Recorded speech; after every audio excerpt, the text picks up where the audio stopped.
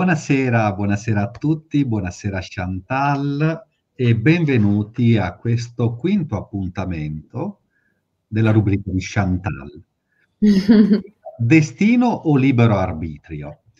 Questa sarà sicuramente una serata molto intensa, come, come le altre poi tra l'altro, perché effettivamente ogni, ogni serata, a mio avviso, Chantal è stata davvero molto esaustiva, mm, ma soprattutto eh, ha dato mh, mm, a tutti noi eh, degli strumenti importanti per affrontare questo momento storico davvero particolare. E questa sera appunto affrontiamo destino e libero arbitrio e credo che sia davvero importante, eh, visto che molti eh, di coloro che, che, ti seguono chiaramente attraverso le pagine social e non solo, eh, hanno fatto diverse domande in merito, in merito a questo argomento.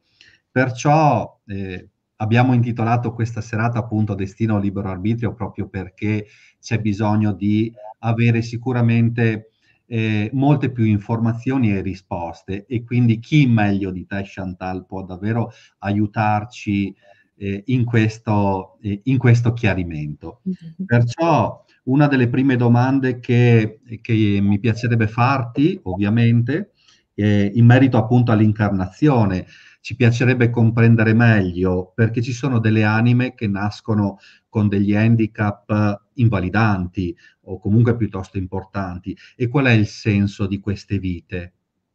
Mm, ok, um, beh, ti ringrazio per l'introduzione, mi sembra di arrivare sul tappeto rosso questa sera, grazie Luca. Um, ma lo sai, ormai mi conosci, non mi ritengo un'esperta, eh? io sono proprio una comune mortale e quindi ecco, condivido il mio pensiero, quindi anche questa sera vi, ecco, rispondo come, come, come, meglio posso fare. Allora, ehm, effettivamente ehm, è una domanda che mi arriva spesso, no? Il perché...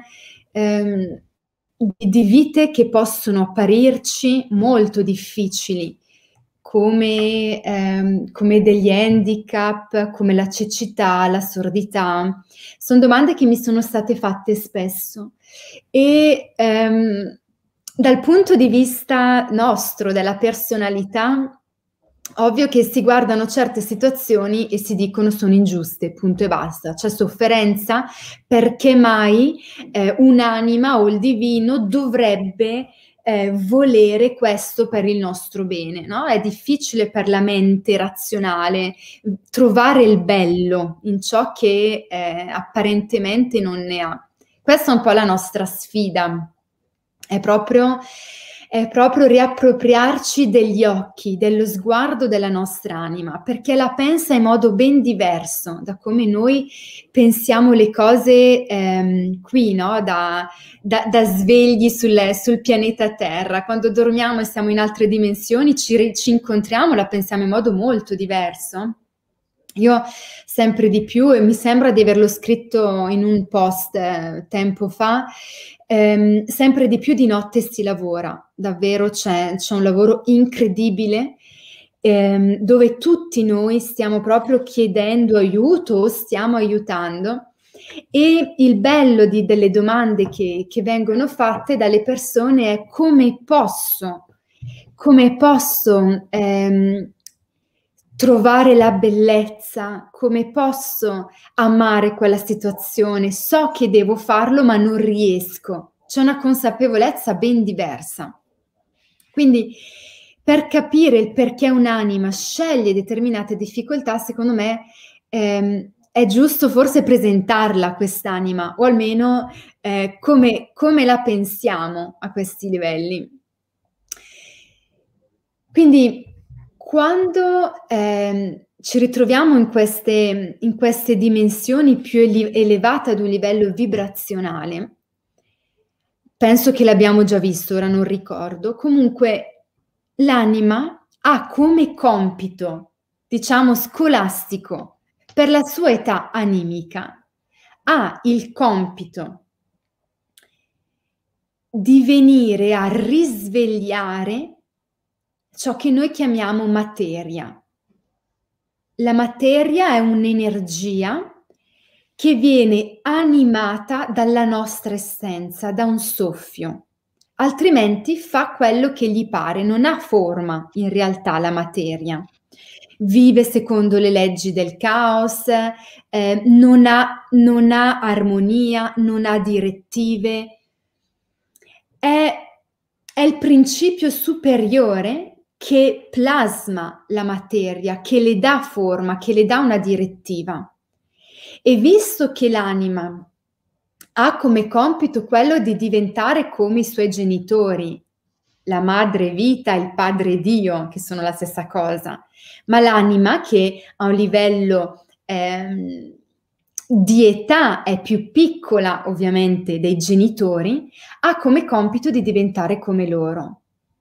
E uno, una delle qualità divine di Dio è quella di rendere obbediente la materia. Lui comanda, e non è il padre padrone dei nostri, ma dà un comandamento, dà un'idea, esprime un'intuizione, una volontà e riesce a plasmare la materia, che sia fisica di questa dimensione o che sia di altre dimensioni. Eh? La materia non ce l'abbiamo solo noi, c'è, c'è anche in altri mondi, però lui dà un comandamento alla materia. E noi siamo diventati, stiamo, siamo venuti per diventare così, siamo degli apprendisti maghi. Siamo venuti ad imparare a dare un comando alla materia, a poterla plasmare in base alla, alla volontà dell'anima. Per fare questo ci confrontiamo con la materia capricciosa, ci confrontiamo con un ego, una personalità che vuole fare di testa sua. Quindi scegliamo eh, delle incarnazioni, ma le scegliamo proprio a tavolino. Io questo ci tengo, ci tengo a esprimerlo, non è che le scegliamo così in modo etereo, cioè ci sono proprio dei luoghi precisi con delle stanze, degli schermi, dei tavoli luminosi, dove viene programmato lo, lo scenario del, del film che vogliamo venire a vivere sul pianeta.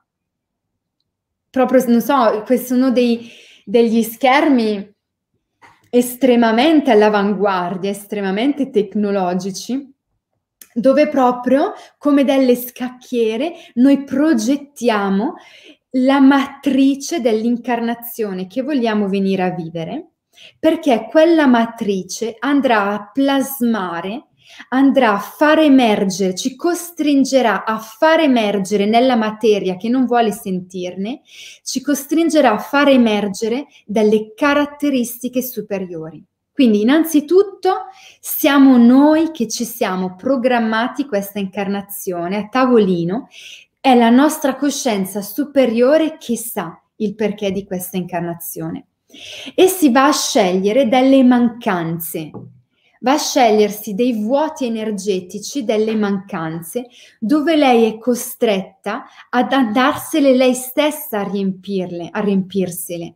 Una mancanza d'amore, una mancanza d'attenzione, una mancanza d'affetto, una mancanza di, una, di un'armonia fisica, ad esempio, ci scegliamo delle mancanze dove l'anima sarà costretta lei stessa a portarci armonia, a portarci amore. È lì che noi diventiamo una, un essere divino adulto, perché siamo costretti a tirarle fuori queste, a rimbocca, rimboccarci le maniche e a tirarcele fuori queste caratteristiche. Quindi ci sono proprio degli incontri estremamente profondi nella, nella nostra vera casa, nella dimensione dalla quale veniamo, dove con... Eh, con degli esseri più saggi di noi, proprio sono persone, eh? hanno due occhi, un naso, una bocca, eh, andiamo proprio a dirci, ok, anima, che cos'è che ancora non hai forgiato come caratteristica divina sulla terra? Là dove la materia va controcorrente all'anima, là dove non ha forma, là dove c'è l'oblio, che cosa vuoi manifestare come qualità. E lì si plasma, si costruisce proprio come dobbiamo immaginare come un tunnel, un film di scenari, di, di, di, di, incontri, di colpi di scena che ci obbligherà a diventare un essere di luce. E io penso, non so, un essere di luce, per esempio, è imperturbabile. Vallo a tentare il tuo angelo custode. Sorride. Eh? ri- rimane fedele a se stesso, sa difendere il suo spazio, sa farsi rispettare, sa perdonare, sa comprendere, sa essere compassionevole, non giudica, non vede separazione, non vede il male, sa creare, sa insegnare, sa rimanere nel silenzio, sa non interferire. Ci sono tantissime qualità di un essere di luce e noi visto che siamo destinati, si parla di destino, ma noi diventeremo un essere di luce. Fa parte della nostra storia animica, come per un bambino c'è l'adolescenza, c'è l'adultità, c'è l'anzianità, per un'anima noi tutti vivremo uno step dove saremo guide di luce per esseri più, più piccoli di noi. Lo diventeremo ma per diventarlo, io mi ricordo sempre all'asilo, quando andavo all'asilo in Italia, ehm, c'erano i piccoli, i mezzani e i grandi, c'erano i tre anni e i grandi del, del, terzo anno di asilo avevano il ruolo di proteggere, di accudire, di guidare un più piccolo. Era un modo per diventare grandi. Questo processo lo vivremo anche noi, ma dobbiamo arrivarci ad essere degli esseri di luce tali da poter guidare, ispirare, proteggere qualcun altro. E così via. C'è tutta una scala no, di, di, di, come si dice, di crescita per diventare pari, pari a Dio.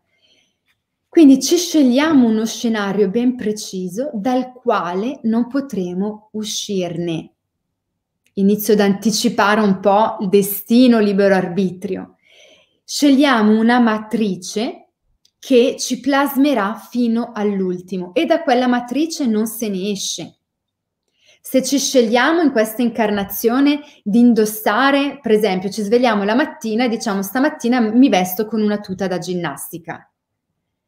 Eh, la, il vestito che ti sei scelto è questo. Non puoi cambiare nel corso della giornata, no, voglio l'abito da sera perché cosa succede? Ti tocca di dover tornare a casa, spogliarti, lavarti, riposarti, scegliere un nuovo abito dall'armadio, nuove scarpe, nuovi accessori, cambia tutto, per poi ritornare al mondo. La stessa cosa è l'incarnazione. Si sceglie un abito, si scelgono delle vesti che attiveranno in noi delle caratteristiche. Io vedo che quando ho le scarpe da ginnastica, anche il mio atteggiamento è sportivo quando ho il vestito da sera sono tutta fighettina, tutta, tutta raffinata, mangio in un certo modo, so le scarpe da ginnastica al ristorante sono proprio... Eh? Cambiamo, cambiamo. Quindi anche, anche per la nostra incarnazione scegliamo dei colori e da quei colori non se ne esce. Per uscirne bisogna tornare a casa. Quindi tutti meno, ma- meno male scegliamo delle mancanze, tutti. Nessuno nasce con la completa pienezza di tutti gli elementi, di tutto l'amore, di tutte le attenzioni, la perfezione. La perfezione non c'è in questa incarnazione, altrimenti non ha senso venire, perché non avremo nulla da forgiare.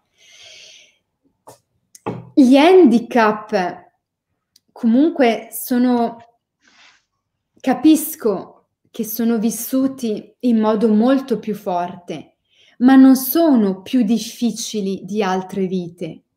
Mm, ci tengo, per i nostri occhi sì, ma non è che ecco, una persona che ha i genitori, la casa, vuol dire che abbia meno difficoltà di una persona portatrice di un handicap, sono comunque vite sicuramente diverse. Allora, perché una persona si sceglie ad esempio la cecità, la sordità? Ehm, conosco un, un, parente di un amico che ha il, il nonno sordomuto ed è molto interessante perché tutta la famiglia è costretta a comunicare in modo diverso. È affascinante. Tutta la famiglia sta e la persona stessa in, in, nel corso di questa vita sono obbligati a trovare un altro modo per comunicare. Senza saperlo, stanno sviluppando una sensibilità. Gli esseri sottili, gli esseri di luce, con loro si può stare in silenzio, che ascoltano perfettamente ogni tua nota. Non c'è bisogno di parlare. Questa è una, una caratteristica che siamo venuti a, a forgiare. Quello di, di andare oltre ciò che l'altro ti dice è un talento, perché con la parola possiamo camuffare il nostro stato interiore. Possiamo dire quando qualcuno ti chiede come stai bene, dirà benissimo, anche se dentro una giornata terribile. Una persona che non ha possibilità di esprimersi con la parola è nuda. È e ci permette di leggere i suoi occhi, di leggere la sua luce, di leggere il suo sentire. Sono persone, ad esempio, che eh, vengono per imparare, per attivare un'empatia, una comprensione del diverso, del non essere omologati. Una persona con un handicap è una persona diversa e quell'anima conoscerà l'importanza e la sacralità del non essere tutti formattati, tutti precisi, perfetti, con gli occhiali Dolce Gabbana, il portafoglio Gucci, tutti uguali. Conosceranno l'unicità e la bellezza che si esprime attraverso l'essere diverso saranno persone che non giudicheranno. Una persona che porta proprio un handicap fisico, una mancanza di possibilità di agire. Sono persone che vengono a conoscere la perfezione, perché per gli occhi degli altri loro non sono perfette, ma loro conosceranno che la perfezione è interiore, è nel cuore, non è nella fisicità. Sono anime, per esempio, che, che conoscono l'importanza di essere aiutati dagli altri. Ho conosciuto una persona portatrice di handicap dove in una vita passata era estremamente orgogliosa, doveva farcela da sola. A accettare l'aiuto degli altri era un fallimento. E in questa vita quest'anima si è scelta di non poter far nulla da sola, nemmeno andare in bagno per quell'anima è un, è un duro scoglio, ma sta conoscendo il ricevere, la bellezza del lasciarsi accudire. L'omosessualità. Ci sono persone che mi scrivono come possiamo aiutare le persone che scelgono una vita omosessuale. Eh, ma non c'è nulla da aiutare. Non, c'è, non bisogna aiutarla l'omosessualità, mica è una problematica. Le persone oggi che scelgono di vivere l'omosessualità sono persone che ci insegnano, insegnano ai loro cari che l'amore va oltre la forma. La forma è un abito. L'omosessualità ad un livello energetico non esiste perché viviamo in una dimensione dove sono gli opposti che si attraggono. Quindi c'è sempre un principio maschile e un principio femminile che si cercano. E quando vediamo, io tantissimi amici omosessuali, tantissime coppie che adoro, ma se si guarda a un livello energetico, abbia, ho di fronte a me un sole e una luna. Del fisico, della carne, di quello che riveste il sole e di quello che riveste la luna ma cosa ce ne frega?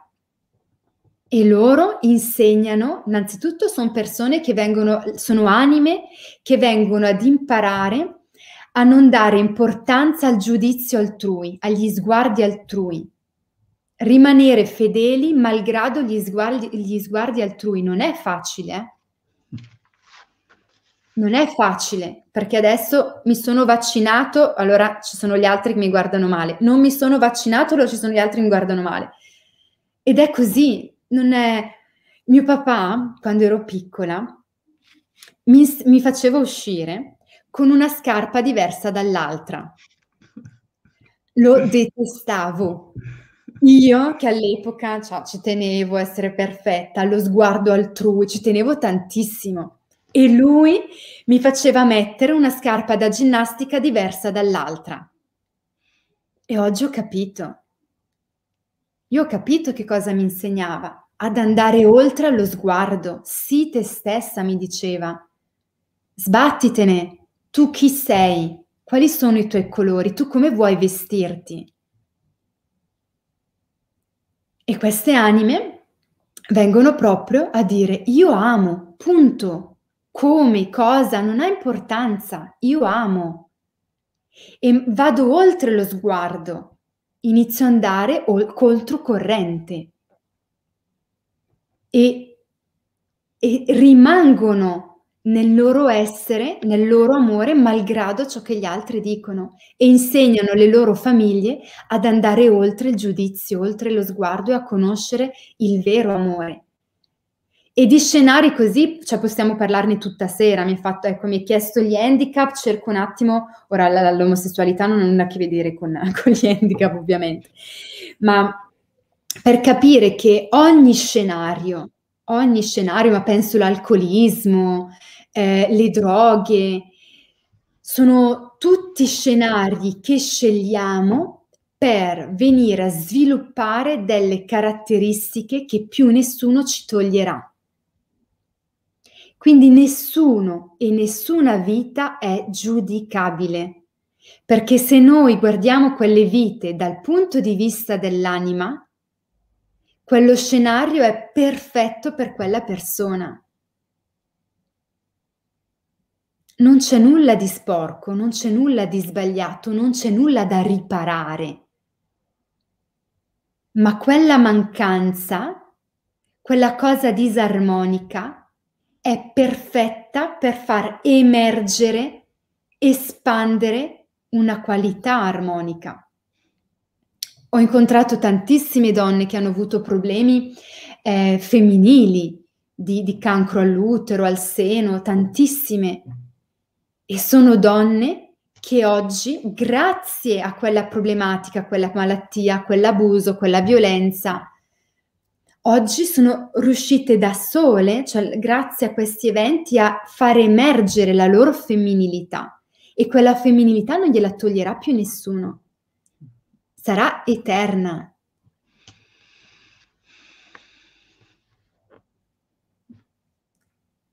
Ecco, non, ovvio che ci sarebbe tantissimo da dire, ma le mancanze, ciò che noi reputiamo come sbagliato, in realtà è proprio ciò che serve all'anima per rivelarsi una volta per tutte.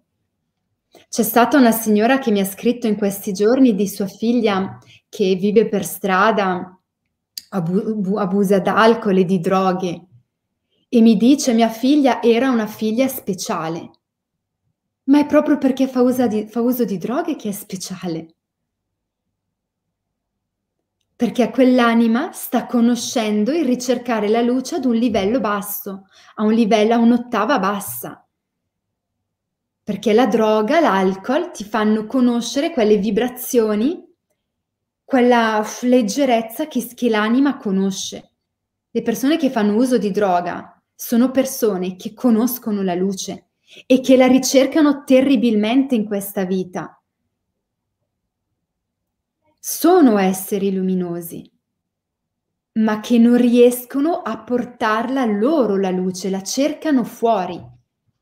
Il loro compito è trovarla dentro e nutrirsi della loro luce interiore e non abbeverarsi più da qualcosa di artificiale.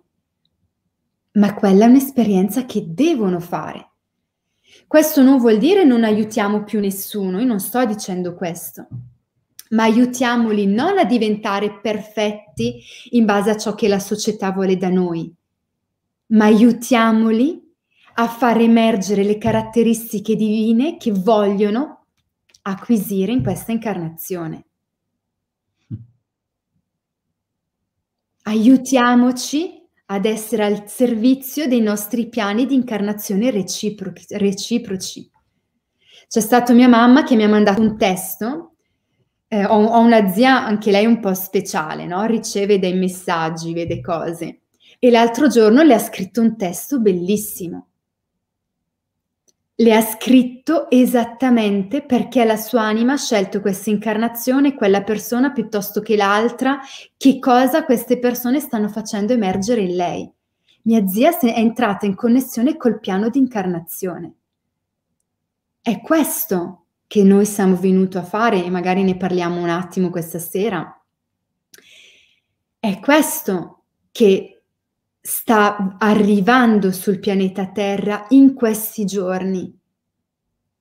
È finalmente guardarci negli occhi e non più essere vittime del mondo esterno, non comprenderlo. Mi dicono tutti arriverà la quinta dimensione. Benissimo, ma si pensa che nella quinta dimensione non ci saranno più problemi?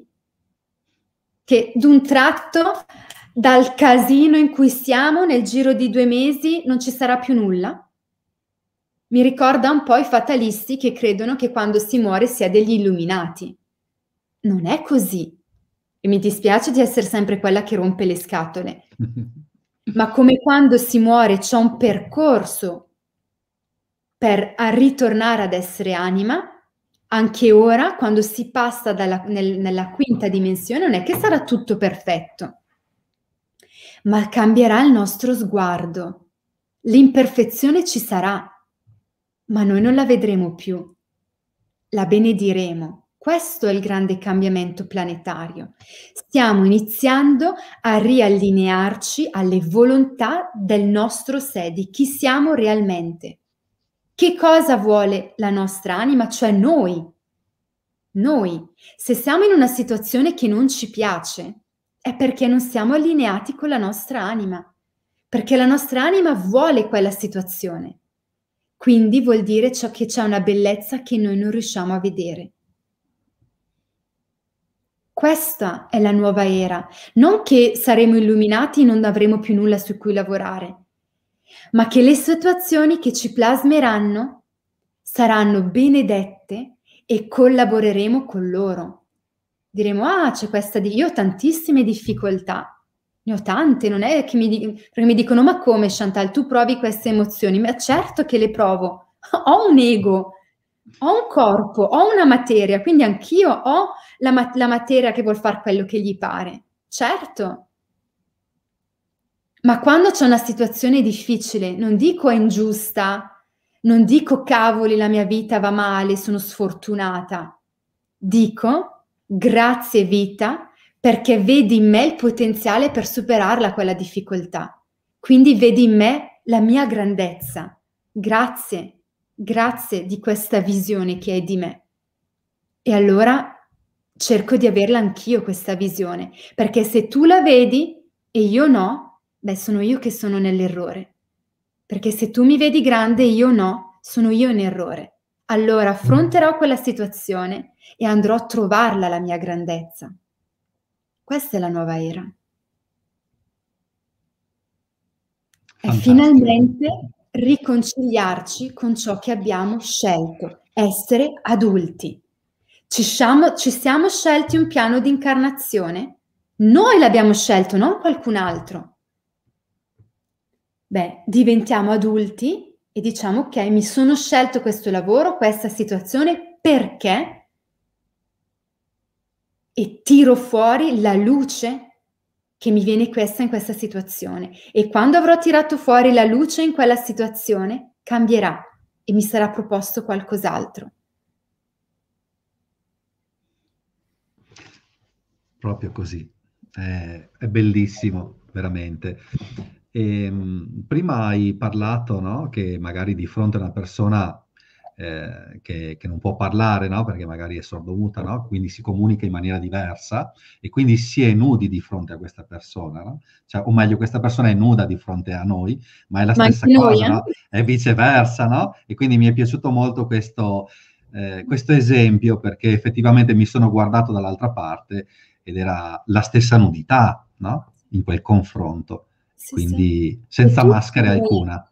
Tutti noi viviamo vite di cecità e di sordità, perché sono quelle vite che ci permettono di attivare a al- un altro sguardo. Quindi ci, ci passiamo tutti o ci siamo già passati e iniziamo a leggere, a percepire quel tessuto invisibile che ci unisce tutti. Siamo tutti collegati, non c'è separazione. E iniziare a leggere quel tessuto è di una bellezza, di una magia, perché alla fine quel tessuto ci rende simili, ci rende uguali, ci rende fratelli, non c'è più razza, non c'è più sesso, non c'è più l'aspetto estetico. Tante donne mi dicono non sono bella. Io ancora non ho incontrato una donna brutta. Non esiste come un uomo, eh? La bellezza è ovunque, appartiene a tutti. Sta a noi leggere oltre le linee del fisico, oltre il vestito, oltre la parola. E ci sono vite che, che benediciamo perché ci permettono questo. Proprio così, davvero. I portatori di handicap in genere sono esseri molto speciali. Sì. Assolutamente, condivido appieno. Poi Chantal, altre domande che sono arrivate, ad esempio, eh, qual è la tua visione in merito appunto al destino? Secondo te è qualcosa di già scritto oppure l'essere umano lo può modificare? E destino è il volere dell'anima? Mm.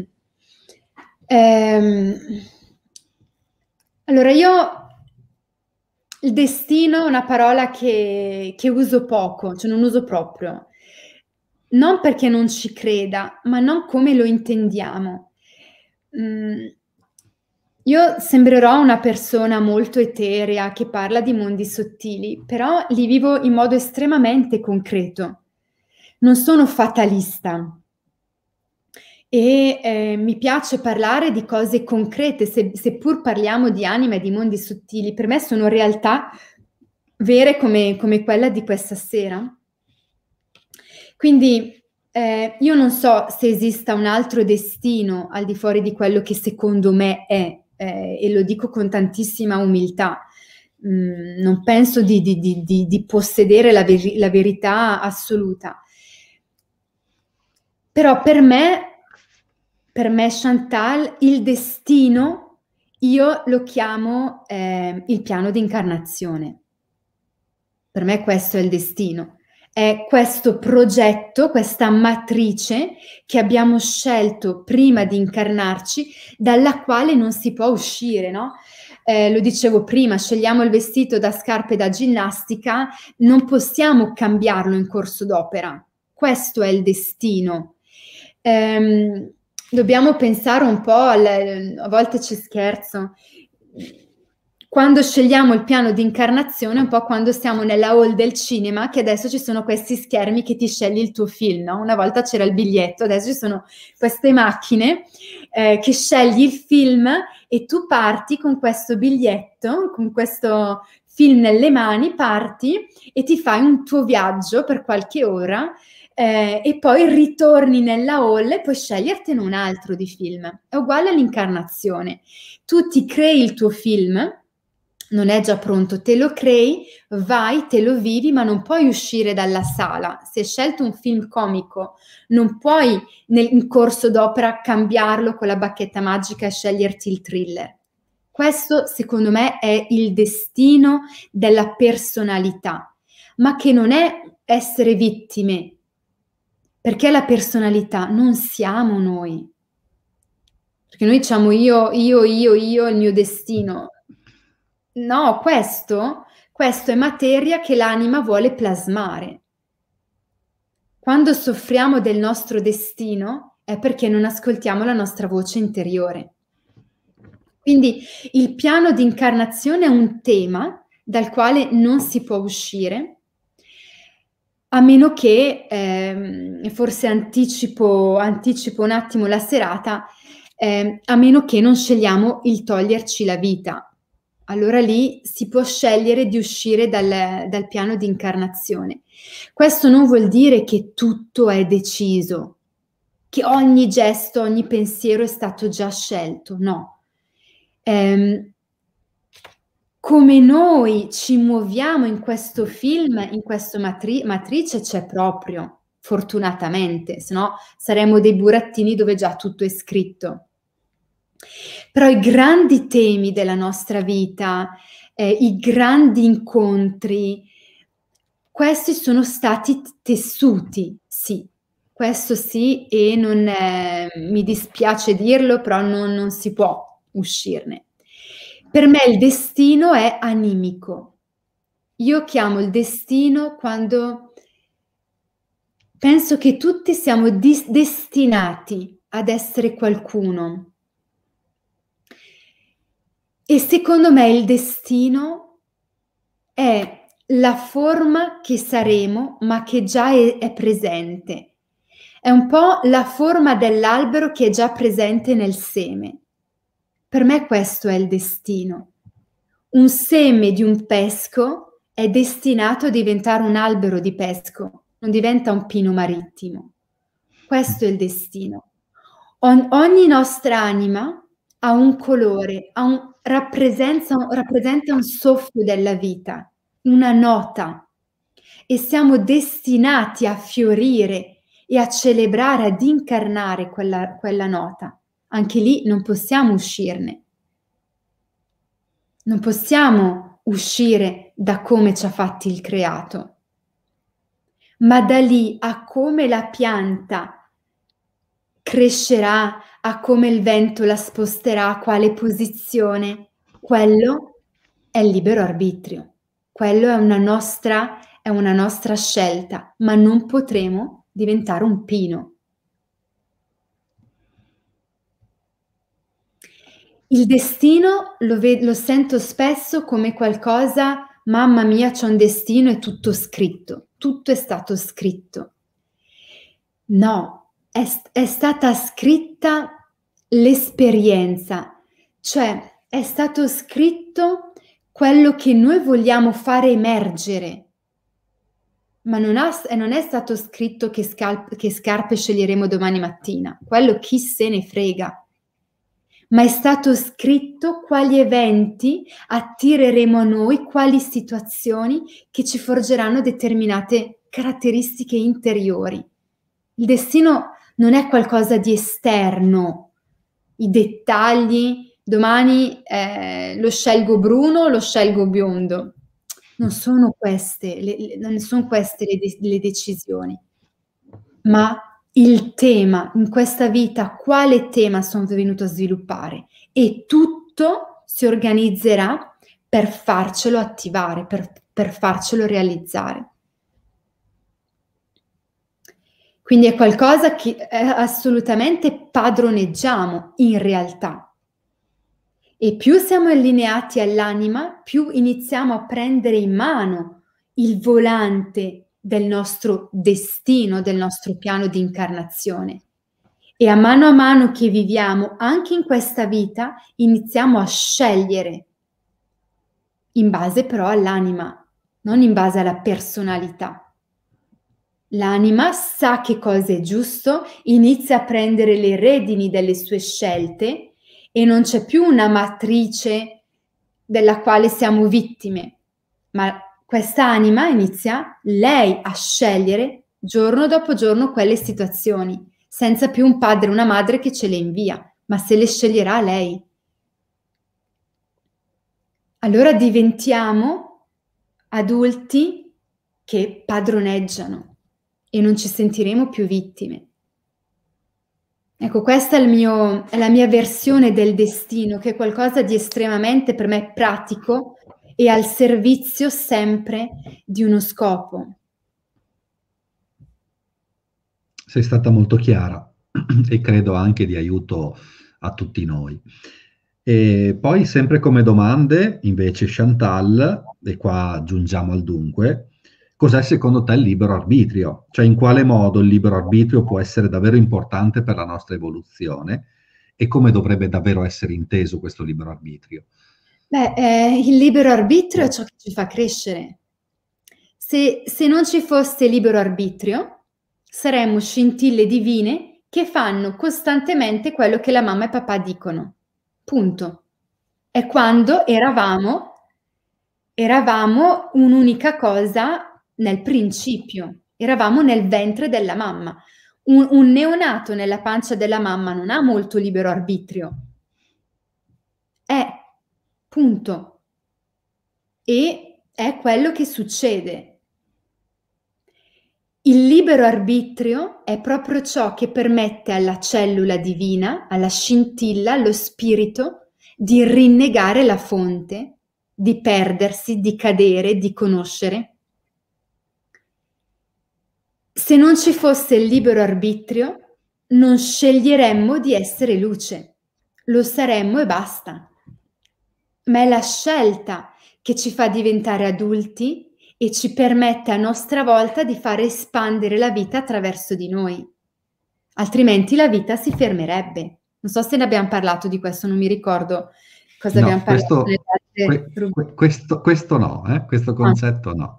Quindi la vita è noi e continua ad espandersi in soffi, ma attraverso di noi. Cioè non c'è un nucleo che è la vita, poi c'è la, la, creazione intorno a lei e lei da questo nucleo continua a creare altre cose. No, lei si es- un nucleo si espande, si espande, si espande e quello che c'è dentro è la creazione e quindi anche noi. E continua ad espandersi in questo modo, non moltiplicando cose esterne, ma espandendo se stessa. Quindi se noi non diventiamo cellule scintille adulte, la vita attraverso di noi non può espandersi, c'è una fine. Il libero arbitrio è quella possibilità di dire io sono, io voglio, io non voglio, io mi stacco dalla mamma, faccio un percorso rinnego, rinnego me stesso, rinnego l'amore, rinnego la luce, dico di no, dico non voglio crescere, ma fino a quando saremo costretti, perché la nostra linfa è luce, saremo costretti a diventarlo, il pesco, ma lo diventeremo per scelta. E lì sceglieremo di espandere la vita attraverso di noi. È le fondamenta della creazione. È anche ciò che nel piano di incarnazione, o destino, non so come volete chiamarlo, ma è ciò che nel piano di incarnazione permette all'ego di dire no. Se non ci fosse il libero arbitrio, noi ci scegliamo il piano di incarnazione, l'ego dice amen, amen, amen, non ci sarebbero attriti, non ci sarebbero ferite, non ci sarebbero difficoltà, perché l'ego sarebbe al servizio dell'anima e quindi non ci sarebbe crescita e quindi non ci sarebbe evoluzione, non ci sarebbe espansione. Il libero arbitrio è ciò che permette alla nostra personalità di dire no anima, io non ti ascolto. Ed è lì che nasce l'attrito che ci fa crescere. Ed è lì che iniziano i conflitti, le difficoltà che conosciamo, che conosciamo delle note che non sono quelle animiche, voi pensate che nasciamo in, una, in un mondo dove esiste solo una sinfonia, c'è solo Mozart. Come possiamo apprezzare la bellezza della sinfonia di Mozart se non abbiamo conosciuto la techno? Sì, c'è questa musica di fondo, ma non, non la vediamo, non la sentiamo veramente, perché c'è sempre stata. Il libero arbitrio ci permette di conoscere la techno, la metal, di dire no anima, io non voglio più la tua armonia, io faccio di testa mia e conosco il caos. Allora, quando conosciamo il caos e iniziano a non andarci più bene, la tecno inizia a darci male alla testa, inizia a crearci le problematiche, è lì che diciamo, wow, la sinfonia di casa però non era niente male. Caspita, mm. ma c'era una musica bellissima, ma questa musica to- tocca delle note interiori, espande luce, crea armonia, crea... Iniziamo a dare un valore a quello che avevamo e che siamo ma questo solo grazie al libero arbitrio.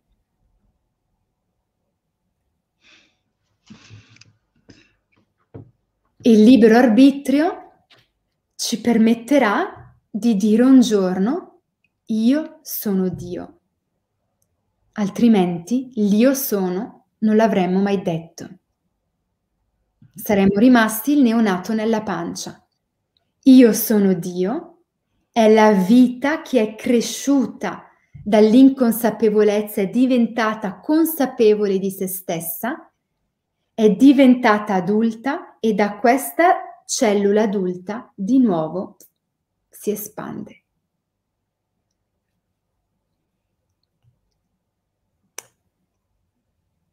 Ma non è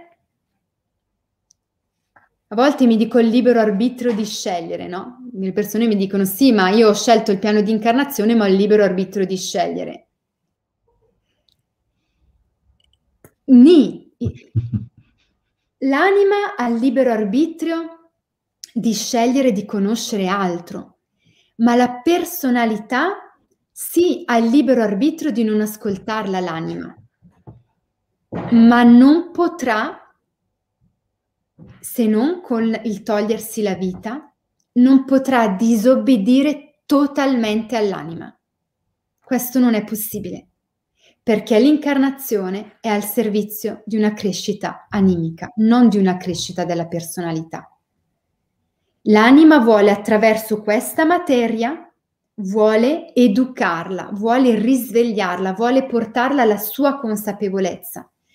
Il libero arbitrio non voglio crescere, non voglio saperne nulla dell'anima, ci porta a vivere delle situazioni difficili, delle malattie, degli incidenti che ci fanno conoscere il metal, ma che poi ci riportano a casa.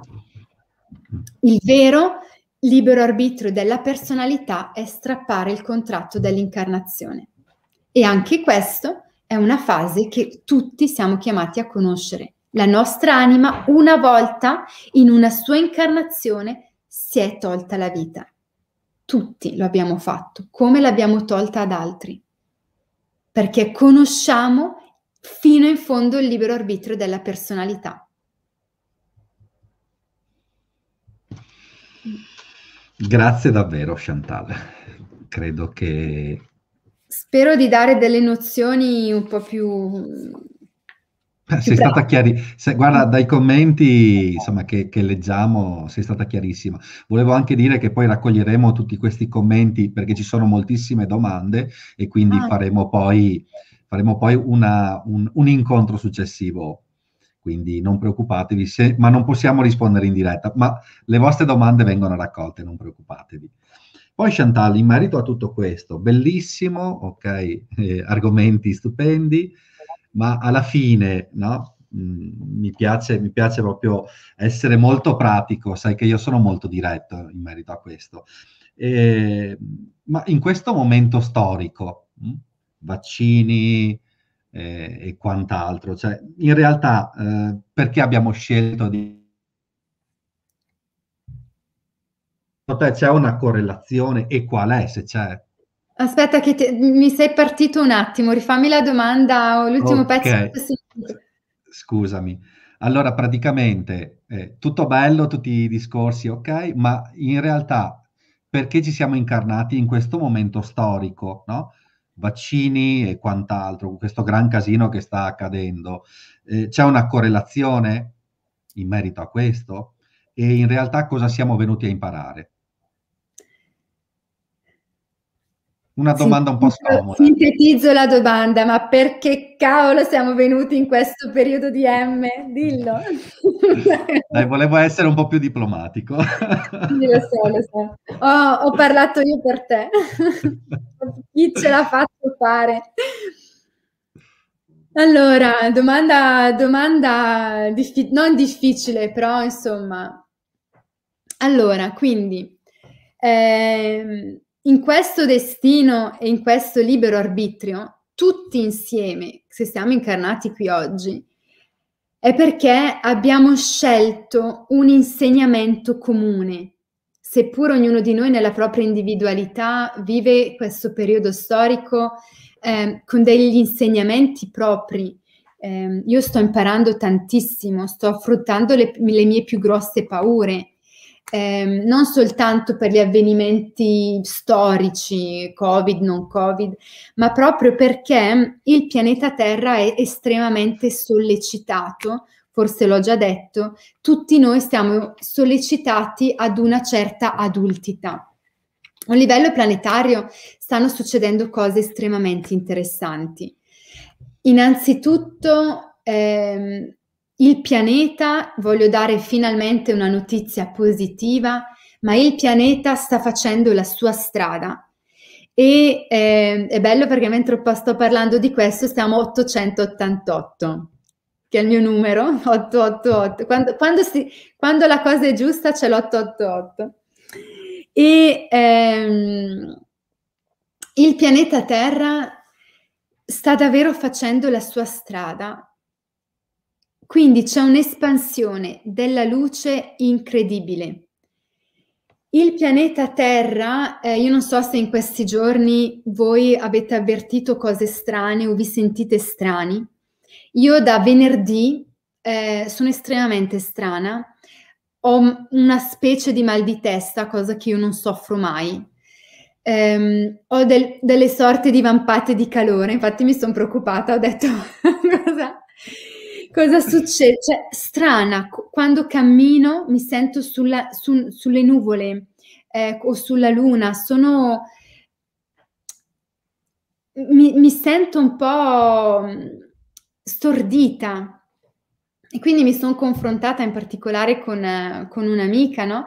E parlavamo l'altro giorno e ci dicevamo, ma che cosa sta succedendo? E ehm, entrambe ab- abbiamo proprio percepito che il pianeta Terra finalmente ehm, si dice spesso no? che, la, che, la, Terra è la nota, è la, nota non, è la corda non accordata del, del sistema sonale, no? del, del, sistema solare, la, è la nota disarmonica. E ehm, secondo me questo non lo è più. Sta proprio ehm, avvenendo un cambiamento vibrazionale dove ci sono delle forze galattiche, delle forze estremamente stellari che stanno riportando il pianeta Terra alla sua frequenza d'origine. La frase che continua a venirmi è il pianeta Terra sta tornando ad essere galattico. E per me vuol dire che finalmente sta tornando a, a, a ritornare alla tavola del, dell'alleanza dei nostri pianeti. Mm? Quindi ha giocato un ruolo, inter- scusate, giocato lo si dice in francese, ha interpretato un ruolo ehm, il pianeta di disarmonia, ma oggi basta. Oggi questo è finito ed è un po' quello che viene detto a tutti noi. La matrice che ci siamo scelti in, questo, in, questa incarnazione e che è un privilegio è che noi non vogliamo più essere dei ragazzini che giocano con i piaceri dell'ego, perché è stato importante provare piacere dalla materia, saporirla. Bisogna conoscere la materia, non è solo il male. Bisogna giocare con le passioni, i sentimenti, bisogna saperla manipolare la materia perché noi stessi diventeremo creatori noi stessi un giorno dovremo dare delle direttive, delle direttive e plasmare la materia, quindi dobbiamo conoscerla per darle delle direttive. L'abbiamo fatto? Ci siamo divertiti più o meno? Adesso è il tempo di entrare in un processo di adultità. E qual è questo processo di adultità? Ed entrare nelle frequenze del cuore, dell'anima, dove non ce la si racconta più. Ci si incarna per un motivo e lo si onora.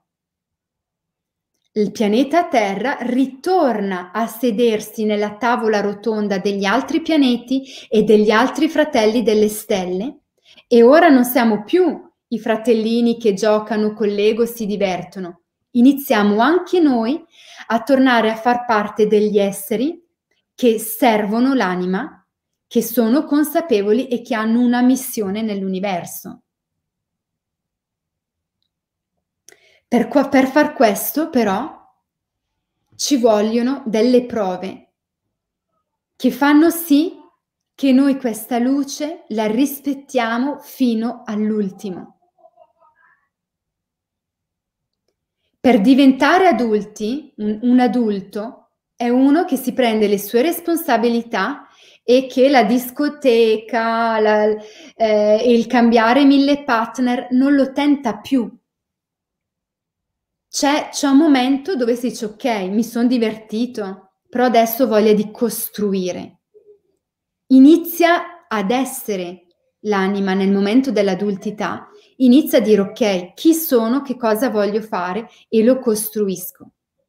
Questo è il periodo storico nel quale siamo e al quale siamo destinati. Siamo destinati a diventare adulti. In che modo? In che modo si diventa adulti? Mi piace una parte di Harry Potter, non mi ricordo più quale, quale libro, dove il professor Silente che rappresenta il grande maestro rappresenta l'illuminato. Non è un padre, ma è un maestro, è ancora al di sopra, non è un re, ma è un maestro, è un insegnante. E dice ad Harry Potter che è un apprendista mago, è un'anima che cresce. Inizia, è, il libro dove, o il film dove Voldemort ritorna.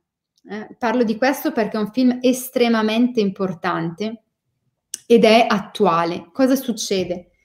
Voldemort c'era, quindi questo stregone nero, c'era in, in tempi precedenti, quando Harry Potter è un neonato, e ce l'aveva con i babbani, ce li aveva con quelli senza potere, senza potere magico. Eh, c'erano delle scene dove tutti uguali, tutti uno in fila, eh, il grande stregone che è lui che decide non c'è gioia, non c'è colore, tutti uguali. E a me ricorda tantissimo il nazismo. Il nazismo non è soltanto una posizione politica, ma è una vibrazione, è il volto delle forze anticoscienza. È lo stregone nero. Negli anni, ne, negli anni 40, con la fine della seconda guerra mondiale, abbiamo pensato di, di aver vinto sullo stregone nero, ma come i film o i libri di Harry Potter ci dicono bene, non è morto, ma semplicemente si era indebolito. E poi ad un certo punto ritorna questo è quello che sta succedendo. Sta ritornando un movimento che possiamo chiamare nazismo, fascismo, comunque questa energia anticoscienza che però è interessante.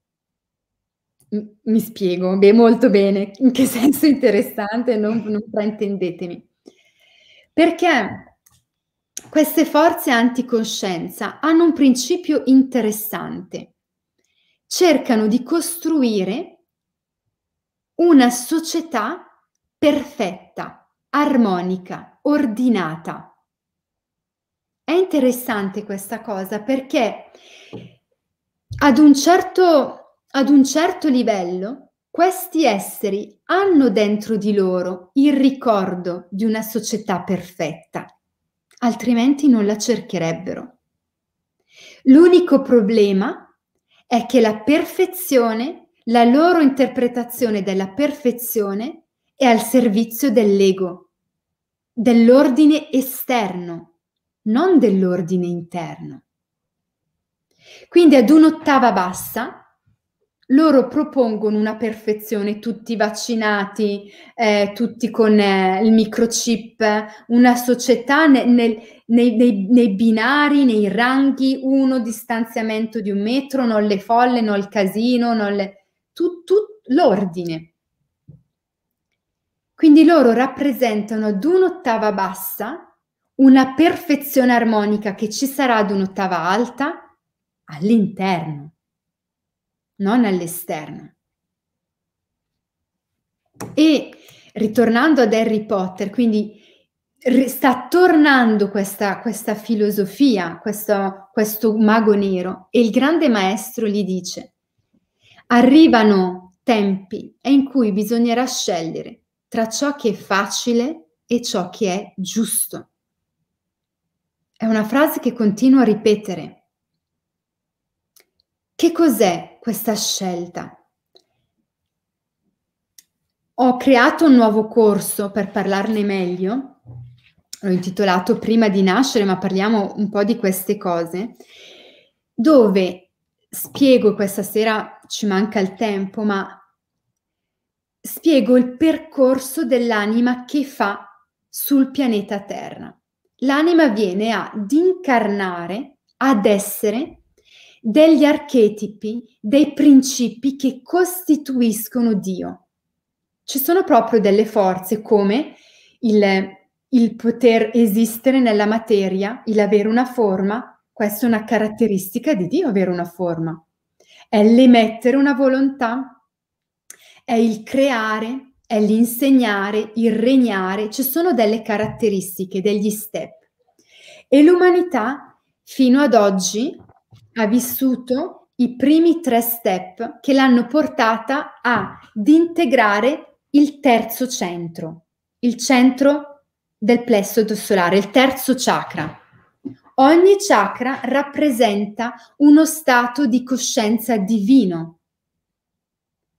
Quindi l'umanità possiamo dire oggi che si trova nella terza dimensione, terzo chakra. Noi stiamo completamente integrando gli insegnamenti di questa terza qualità divina, che è la capacità di, di esprimere chi siamo all'esterno, di portare i nostri colori, le nostre idee, il nostro potenziale, è il potere. A che ottava? È il, è il, portare i nostri progetti, il condividerli con gli altri. E vabbè, non sto a dilungarmi, non voglio rompervi con questo. Fatto sta che ora stiamo entrando nella quarta dimensione, perché già si parla della quinta, ma io, eh, a me piace un attimo fermarci nella quarta, prima di passare alla quinta. E la quarta dimensione è caratterizzata da quella qualità interiore di sapere andare oltre il bene e il, mare, il male, di sapere andare oltre i nostri bisogni personali, ma sapere fare ciò che è giusto. E infatti io chiamo questo archetipo del cuore il re o il faraone.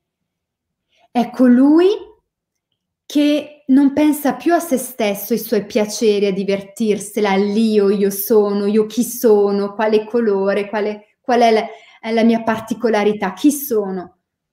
Qui siamo in un essere che sa esattamente chi è e che non si lascia più tentare dall'apparire, ma fa ciò che è giusto. È questo che Silente dice a Harry Potter. Il scegliere ciò che è facile è scegliere la personalità, scegliere cosa la personalità non vuol, vuol fare. Il fare ciò che è giusto è diventare degli esseri adulti. In quel film c'è tutto. Oggi ci viene chiesto di integrarla questa giustezza, non in ciò tanto in ciò che facciamo fuori, non c'è una scelta giusta fuori, ma c'è uno stato d'essere. Ho seguito, ho seguito ehm, delle persone in questi giorni che hanno, mm, cioè, hanno, hanno ricevuto il vaccino e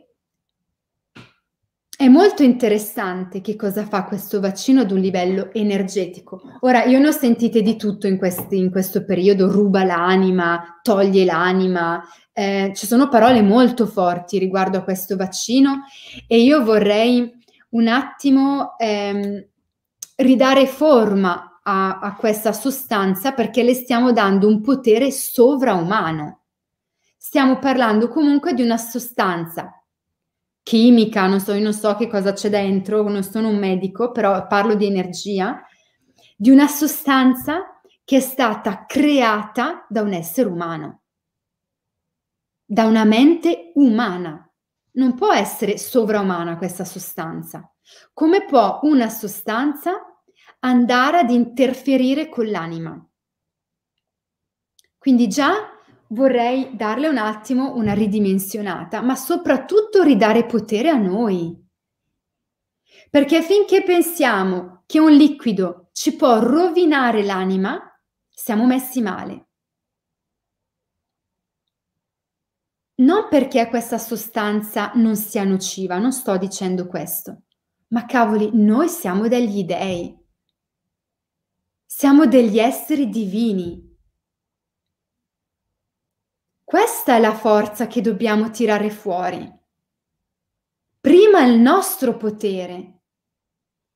Se noi siamo frequenza allineata, possiamo attraversare una nuba atomica e non ci succederà nulla.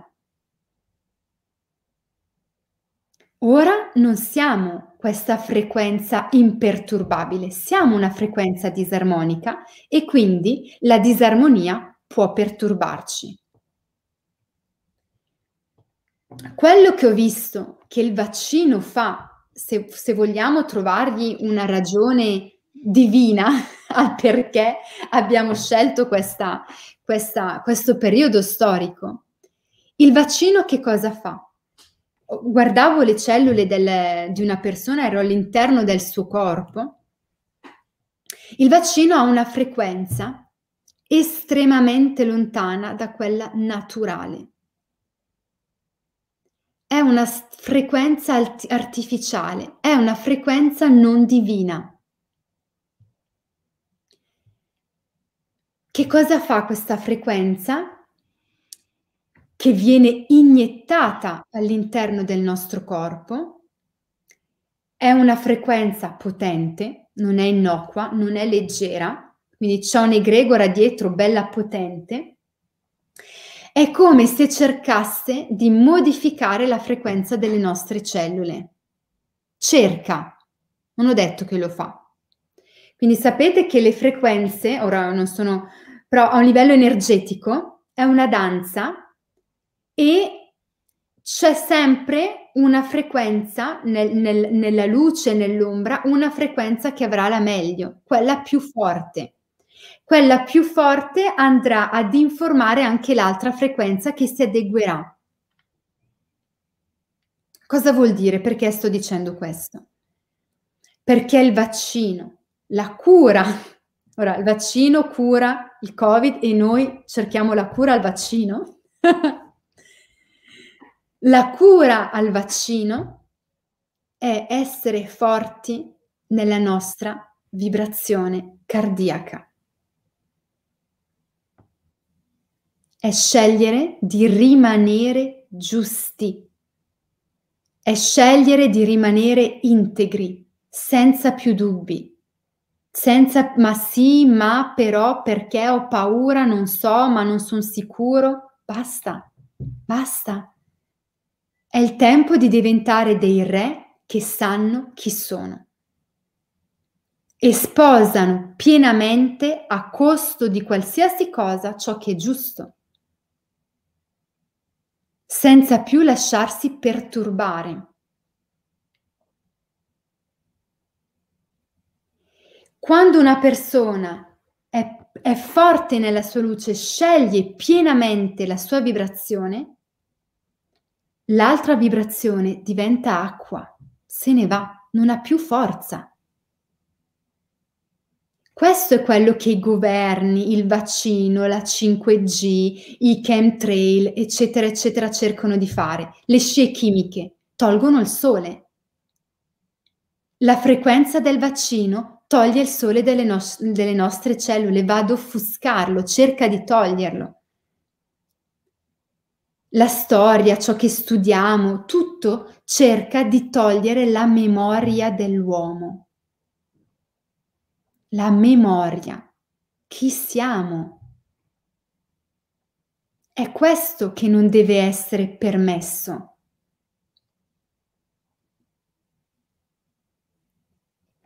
E quando noi avremo il vero potere, nulla ci può essere fatto, nulla.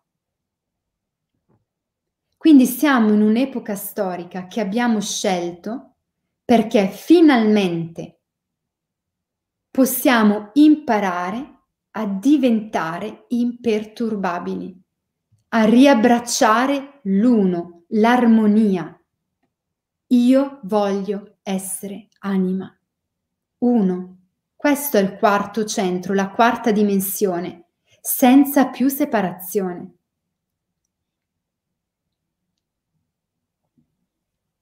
E lì tutte queste cavolate chimiche se ne andranno, non avranno più forza, è lì che andremo a togliere potere. È qualcosa di fisico. È questo il messaggio che cerco tanto di trasmettere. Stiamo dando troppo potere a questo vaccino. Glielo stiamo dando noi. Diamo potere alla nostra luce. Diamo potere a ciò che è giusto in noi e più niente ci può essere fatto. È un'epoca dove tutti diventeremo dei re. Ci saranno persone che diventeranno dei re grazie al vaccino, perché le frequenze lotteranno inconsciamente, la persona non lo saprà, le, le frequenze lotteranno dentro e l'anima dovrà tirarla fuori, espanderla al massimo la sua luce per vincere l'altra vibrazione. Altre persone diventeranno dei re eh, rifiutando il vaccino. Altre persone diventeranno dei re sapendo che, che cosa fa il vaccino, ma dicendo io devo lavorare in un ospedale, devo, è il mio servizio e, e scelgo di, di sacrificare una parte di me al servizio di qualcosa di più grande. Non c'è una scelta giusta, è uno stato d'essere giusto. È questo che ci insegna quest'epoca. Il nostro libero arbitrio di quest'epoca è dire io non voglio diventare giusto, io non voglio diventare adulto, ho ancora voglia di giocare con la personalità, ho ancora voglia eh, di, dei, dei, piaceri, del, del, della mia fanciullezza animica. E questa è una scelta. e siamo in un processo che durerà ancora, secondo me, eh, 4-5 anni, dove è come se il pianeta Terra è, è entrato proprio in un tunnel spazio-temporale, ma è come se questo tunnel, le pareti di questo tunnel si facessero sempre, sempre più strette. È come se siamo entrati in un utero e ci sarà una rinascita.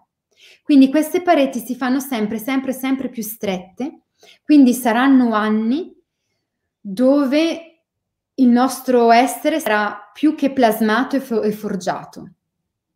Quindi da un lato ci saranno paure, eh, senso di ingiustizia, rabbie, ci saranno emozioni fortissime. Dall'altro lato vi sarà l'emergenza di qualità divine. Sempre di più io vedo persone che iniziano ad esserla quest'anima. Persone che magari prima non dicevano nulla, ora parlano, cioè non dico che dicono cose, ma quando parlano ci sono e non le sposti più. Iniziano a gioire, iniziano a vedere la verità e, e sarà sempre di più. Davvero saranno anni di illuminazione per tutti noi. E, e, saremo poi costretti a passare quel tunnel e dopo quel tunnel beh, ci sarà da ricostruire. Io penso che saranno poi anni di ricostruzione. Quindi prima c'è un mondo che crolla, il vecchio che crolla e il nuovo che dovrà essere, che dovrà essere ricostruito.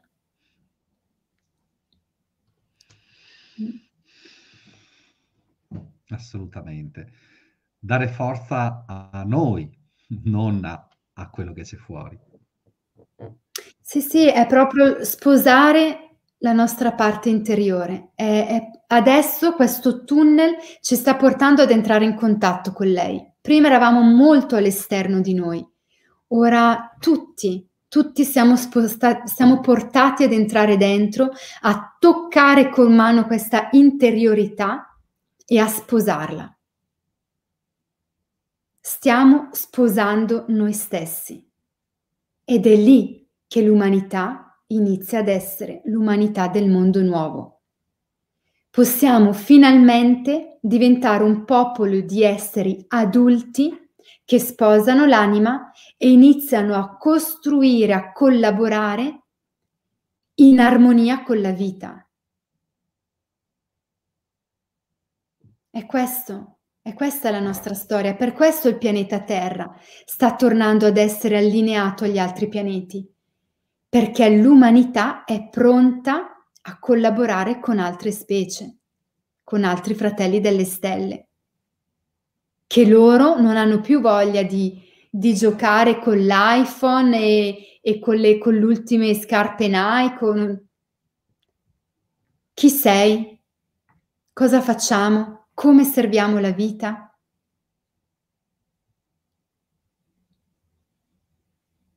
A questo siamo destinati. Possiamo, possiamo scegliere di no. La scelta va a rallentare la nostra evoluzione. La scelta può farci incarnare altrove, può farci rimanere nel mondo della materialità, ma prima o poi l'anima ha scelto. È scintilla divina, lo diventerà. Un bambino non gli si può fermare la crescita, non, non si può prima o poi crescerà. Questo è il destino, siamo destinati a fiorire, ad essere dei frutti della vita. Non possiamo non diventarlo. Il come lo diventeremo, il tempo, la grandezza, la dimensione, la forma, quello di- dipende da noi.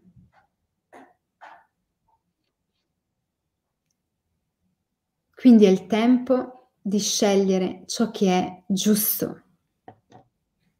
Basta, basta con le cavolate, basta. Siamo tutti belli, siamo tutti fratelli e lo dico col cuore, tutti. Io ancora vedo nei gruppi spirituali delle, dei battibecchi, ma delle cavolate di un'infantilità ma ancora oggi, ancora oggi ci perdiamo in, in, in cavolate senza senso. In tu mi hai fatto, tu mi hai tolto, ma tu non sei così, ma tu così. Abbiamo di fronte a noi delle anime, sempre. Quest'anima cosa mi dice? Quest'anima di cosa ha bisogno? È a questo livello che dobbiamo iniziare a vedere la vita. Non più che cosa mi fa, mi ferisce il mio ego, non è stata gentile, non, non mi guarda, non mi vuole bene, non... Che cosa mi insegna quest'anima? Che cosa questa situazione mi insegna? Che cosa oggi i nostri governi ci stanno insegnando? Non con l'esempio, ma con la mancanza.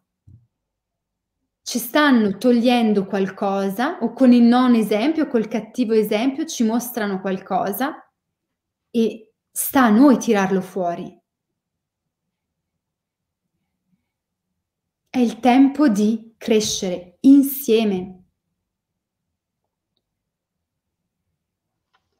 Il tempo dell'amore e della consapevolezza. E, e di questo. Mm. Eh sì, perché l'amore lo si confonde come va tutto bene. No, cioè il fuoco, fuoco, l'anima è fuoco. Sa cosa è giusto e lo mette in pratica. E non barcolla e non barcolla. Ora possiamo ancora barcollare, però è il tempo di avere il coraggio di rivelarsi e di unirsi. È importantissima l'unità in questo periodo storico. Non ancora separarci, ma unirci. Oggi siamo in tantissimi. Uniamoci in questa direzione diventiamo finalmente ciò per cui siamo degni, ciò per cui siamo chiamati. Questo è il destino.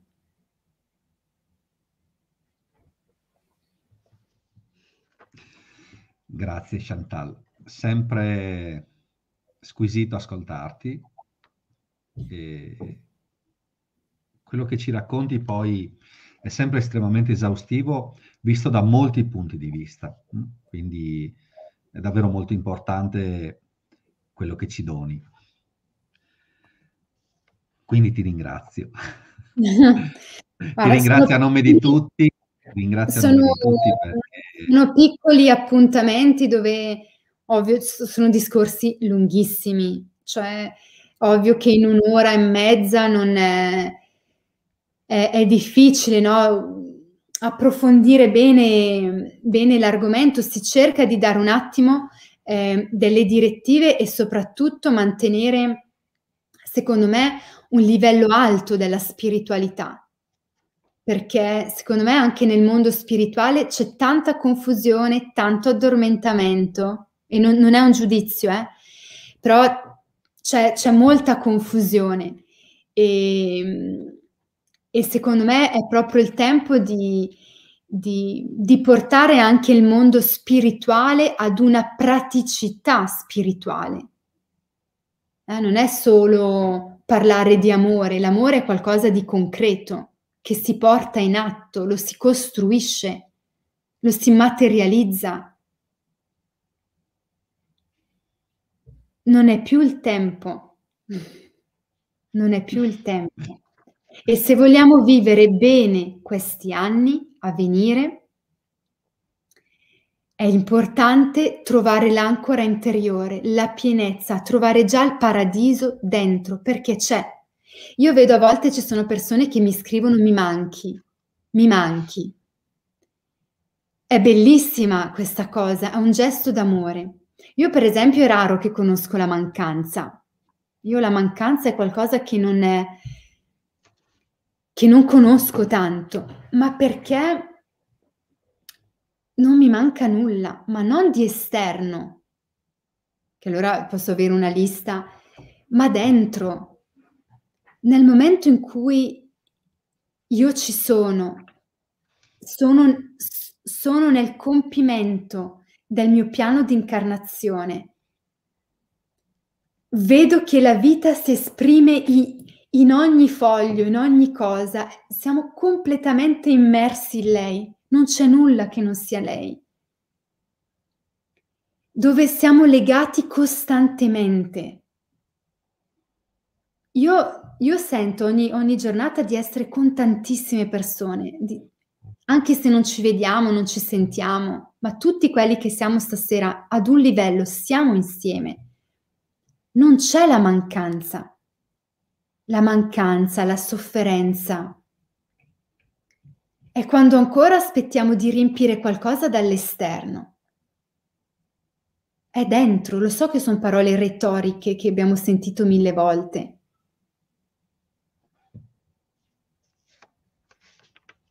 il destino, se posso concludere, che cos'è il destino?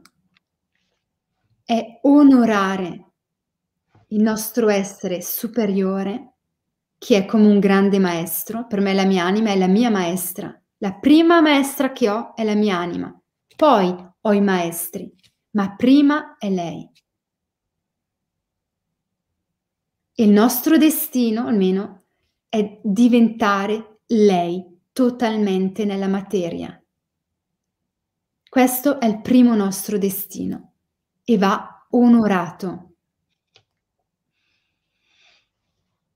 Allora onoriamo la nostra maestra anima che sa perché siamo qui oggi, sa perché ci si presenta quella situazione e chiediamole, chiediamoci quale caratteristica divina che non è solo amore e compassione.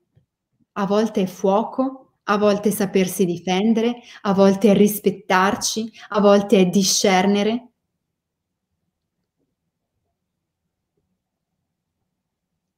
Gli esseri di luce a volte mi offrono delle armature. Ma una spada, ma a cosa? No? È, è, è, è in contraddizione con ciò in cui crediamo che sia luce e amore. Eh no. Bisogna anche avere quella struttura maschile, quella grinta di portare il giusto e di far sì che nessuno lo perturbi. Questo non vuol dire che uso la spada contro, non è questo ma la mia verità la proteggo. Io, per essere diventata oggi quella che sono, di spade ne ho dovute tirare fuori. Perché c'era chi pensava che dovevo essere la ballerina, chi, dove, chi pensava che doveva essere questo, chi pensava che doveva essere quell'altro. No, io non sono questo.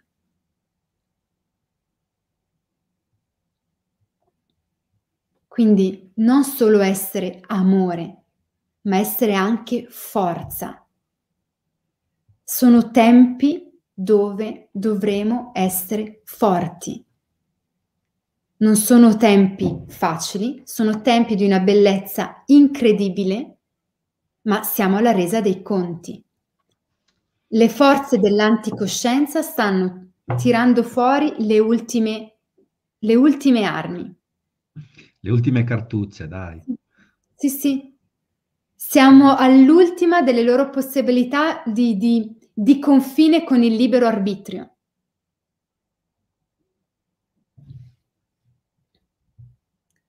Assolutamente sì. Ah, quindi saranno sicuramente dei colpi, ci saranno colpi che sa- saranno belli, belli intensi, eh? non saranno anni facili, però chiediamoci il perché siamo così sollecitati perché finalmente in situazioni così assurde, allucinanti, io ho visto quello che è successo a Roma settimana scorsa. Son, sono, sono scene allucinanti. Però mi sono chiesta che cosa suscita in me questo. Mi ha tirato fuori una grinta, un fuoco da dire mettere in gioco la mia vita per ciò che è giusto. È questo che ci viene chiesto. È l'imperturbabilità.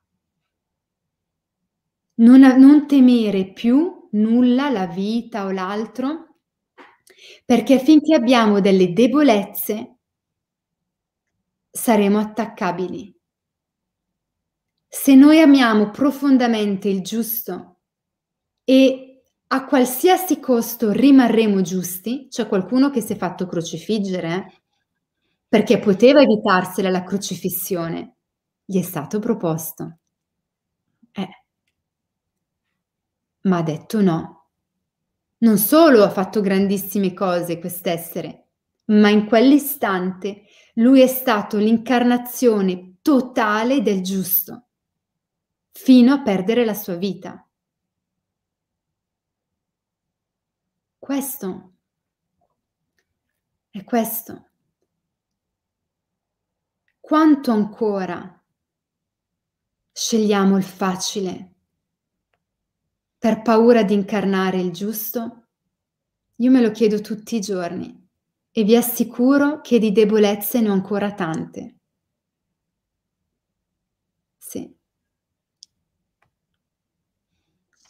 Grazie Chantal, grazie davvero. E direi che anche questi appuntamenti servono per ritrovarsi, ad esempio questa sera siamo più di mille e questo video poi verrà visto da molte più persone. E il ritrovarci, no? Prima parlavi di ritrovarci, di unirci, siamo molti più di quello che pensiamo. E quindi ritroviamoci, uniamoci. Comunità, ora non, non dico fisiche, ma comunità energetiche. Certo. Per me questa sera è un incontro tra amici. Ora sì, la scusa è il parlare, ma per me non è interessante quello che l'interessante non è quello che dico, ma è quello che passa tra di noi dietro. E, e sto parlando seriamente, Luca, non è più il tempo delle chiacchiere, dell'imparare intellettualmente. Qua siamo chiamati ad esserlo le cose si fanno serie. Ma non che succederà qualcosa di negativo, eh, ma proprio siamo sollecitati a dire basta, ma innanzitutto dentro. Tutto quello che succede di assurdo succede dentro di noi. Le forze dell'ordine che ho visto ehm, presentarsi a Roma, dove erano dentro di me quelle forze dell'ordine verso la mia voce, verso la mia anima che urla ho fame, ho bisogno di nutrirmi, ho bisogno di vivere, di esistere per essere nutrita. Dove c'erano quelle forze dell'ordine in me che ancora dicevano no anima, tu sta, sta buona, sono sono più bravo io,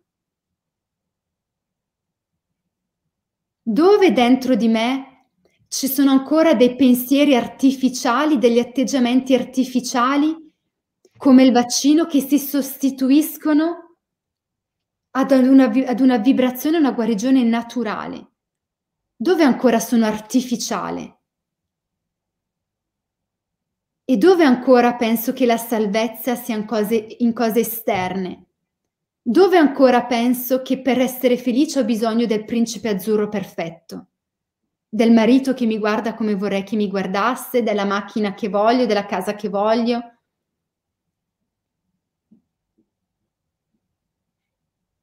Dove io ancora offusco il mio sole con le scie chimiche?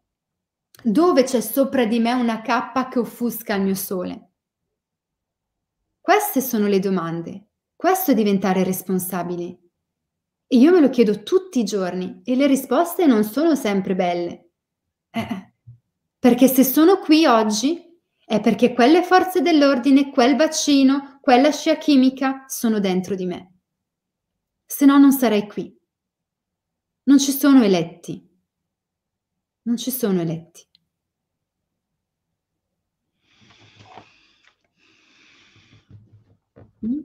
È il tempo delle scelte e lo dico col cuore. È il tempo di scegliere, scegliere di essere. Basta essere l'uno contro l'altro, giudicarci, sentirci meno, sentirci inadeguati. È il tempo che tutti noi tiriamo fuori la faccia, tiriamo fuori il cuore ognuno dov'è insieme perché io sento che c'è un legame tra noi incredibile, anche se non vi vedo, non vi conosco, ma per me è reale, non, non sto dicendo cose per dire.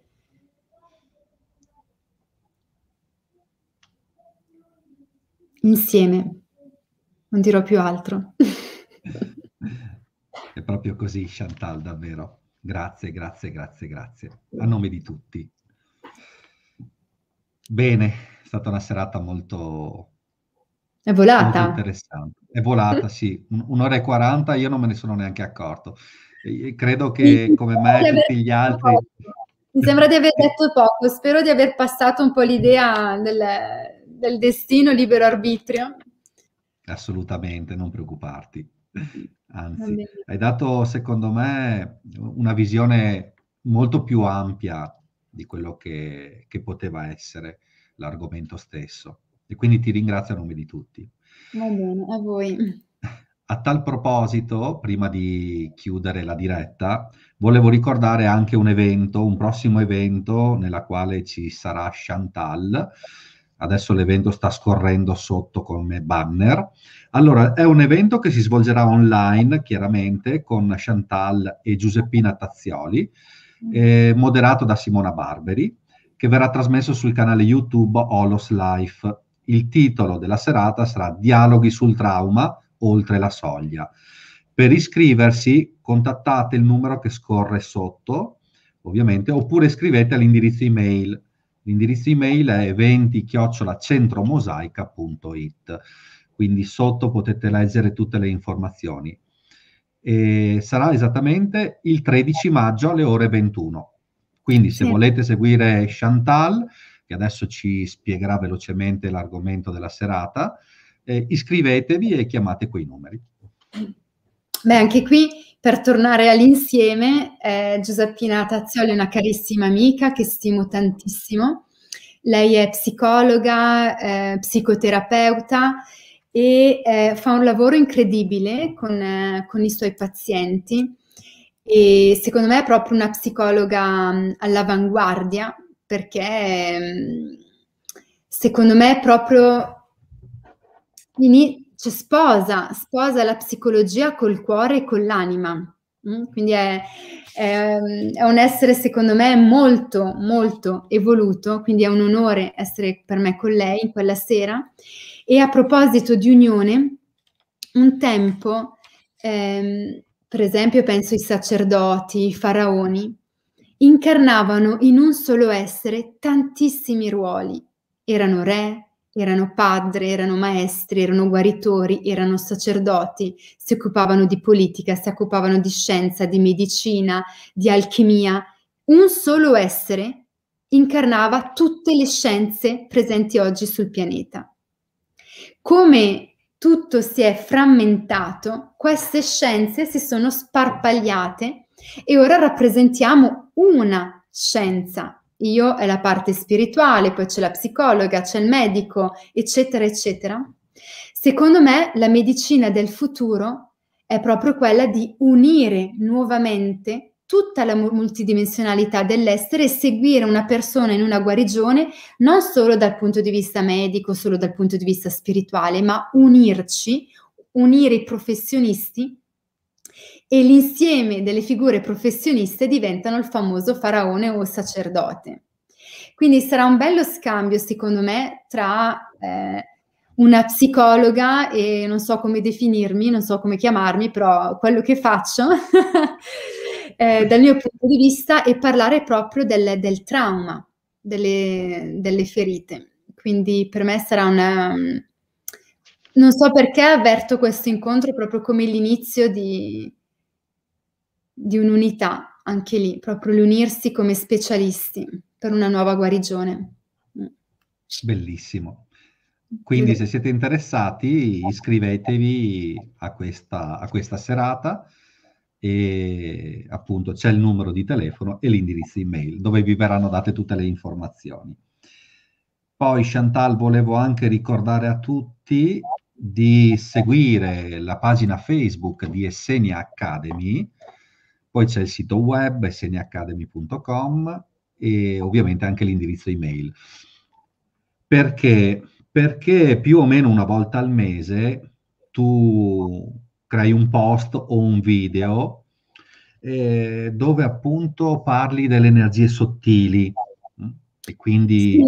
ci puoi dare delle informazioni utili secondo me sì, ho, ho, pensato a questa mini rubrica in Essegna Academy, che è la, è la pagina ehm, appunto del, della formazione della scuola che abbiamo fondato io e Filippo, dove si, si, si accompagna in una, una persona in, una, in un certo percorso eh, energetico e vedo che c'è molta confusione rispetto a certi argomenti oppure molta paura, la magia, l'entità, gli alieni.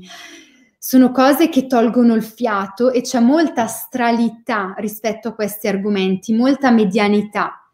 E invece sarebbe bello parlarne in modo pulito e eh, vedere un po' co- cosa sono realmente queste cose e quindi sono brevi, brevi video, però secondo me possono, dal mio punto di vista, con la mia esperienza e con la mia ignoranza, o sicuramente, però dare qualche chicca per alleggerire un po' anche questa, questa spiritualità occulta, oscura che toglie il fiato. C'è proprio una spiritualità pesante che appesantisce il mondo spirituale. E secondo me è un po' il nostro compito andare ad illuminare anche certi argomenti, certe idee e pulire, purificare anche tutte queste cose. Quindi una volta al mese, anche in base a tutte le domande che vengono fatte, eh, a modo mio cerco di rispondere. Sì. E poi Bene. appena si liberano, eh, spero di venire in Italia, abbiamo un po' di eventi programmati e quindi finalmente spero che ci si potrà vedere negli occhi. A me manca, voi vedete me ma non vedo voi e quindi vediamo, dai, ci dai io, io, io sono fiducioso Chantal. Bravo. Io sono fiducioso, dai. Ce la mettiamo tutta. Allora, io ringrazio tutti per averci seguito in così tanti questa sera. È stata una serata molto bella. Ringrazio ovviamente te, Chantal, per questa bellissima rubrica e per questa opportunità, ovviamente, che dai a me di, di presenziare queste bellissime serate. Poi tranquillo che ti becco, una volta faremo una chiacchierata sul tuo libro, è molto ah, interessante. Grazie, mi, trove, mi, troverai, mi troverai pronto. Va bene. Buonanotte a tutti, un bacio grande. Ciao, grazie. Ciao.